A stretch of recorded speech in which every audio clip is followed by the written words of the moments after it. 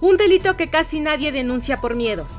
La extorsión en México, además de que va evolucionando sus técnicas, representa un grave daño al patrimonio de las personas, pues mancilla la libertad y refleja un precario estado de derecho, ya que las autoridades no garantizan la seguridad de los habitantes de todos los estados del país y su patrimonio en detrimento del desarrollo económico y social.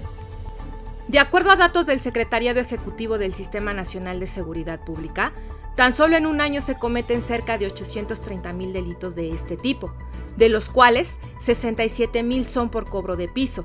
Conforme a estas cifras, 2.200 casos de extorsión se cometen al día a nivel nacional.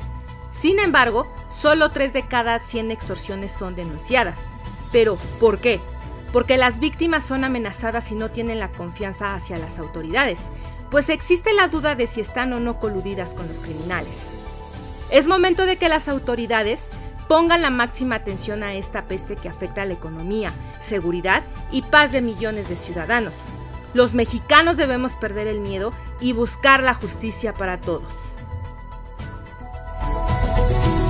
Soy Cintia López. Yo influyo.